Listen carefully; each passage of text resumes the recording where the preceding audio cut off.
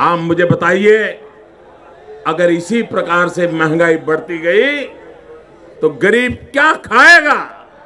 आज प्रधानमंत्री यहाँ आए थे, लेकिन प्रधानमंत्री महँगाई का माँ बोलने के लिए तैयार नहीं है, महँगाई का माँ बोलने के लिए तैयार नहीं है। इनका अहंकार इतना है, महँगाई के लिए एक शब्द बोलने को तैयार नहीं है।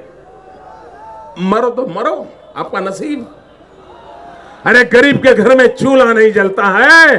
बच्चा रात रात रोता है, माँ आँसू पी के सोती है। और देश के नेताओं को गरीब की परवाह तक नहीं है, मित्र। यह गरीबी का हाल कर दिया है। चार तारीख को वोट करने जाए तो जरा घर में जो गैस सिलेंडर है ना, उसको जरा नमस्कार करके जाइए।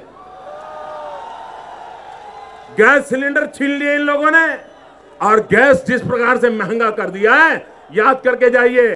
म्यूज़िक